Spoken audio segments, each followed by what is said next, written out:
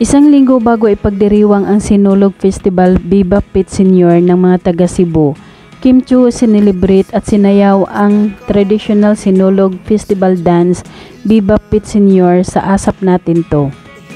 Kasama ang buong asap team tulong-tulong na pinaghandaan ni na Kim ang performance na kanilang gagawin mula sa step ng sayaw hanggang sa costume na kanilang isusuot para sa kanilang Sinulog Festival Viva Pit Senior Dance Performance. Sa corona pa lang nasusuotin ni Kim medyo mabigat na dahil sa laki nito at nadagdagan pa sa damit na kanyang isinusuot. Pero nagawa pa rin ng maayos ni Kim Chu ang naturang traditional dance Sinulog Festival. Dahil na rin sa tulong ng kanyang mga taga-ASAP team.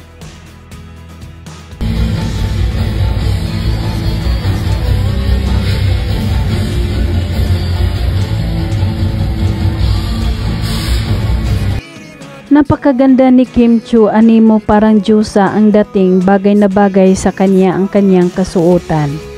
Si Kim Chu ay ipinanganak at lumaki sa Cebu kaya nakalakihan na niya ang every year na mga ganitong paghahanda. Kaya sobrang saya ni Kim na naipagdiriwang niya ito sa entablado ng asap natin to.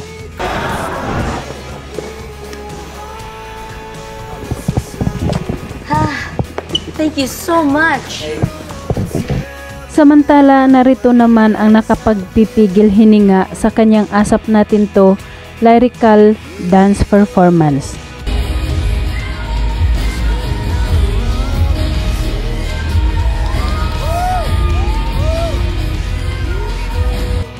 Talaga naman walang kupas ang galing ni Kim Cho pagdating sa mga ganitong performances. Mapamangha ka sa walang takot niyang pag-ikot-ikot habang nakalambitin sa lubid.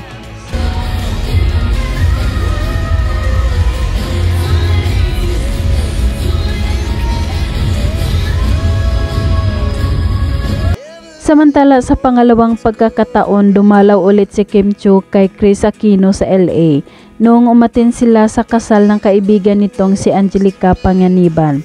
This time kasama niya si Bila Padilla para dalawin si Chris. Pagpasok pa lang nila sa hallway, sinalubong na agad sila ni na Bimbi at Joss. Sa tuwa ni Bimbi, binuhat niya si Kim na parang bata. Habang si Joshua naman ay sinalubong sila ng yakap.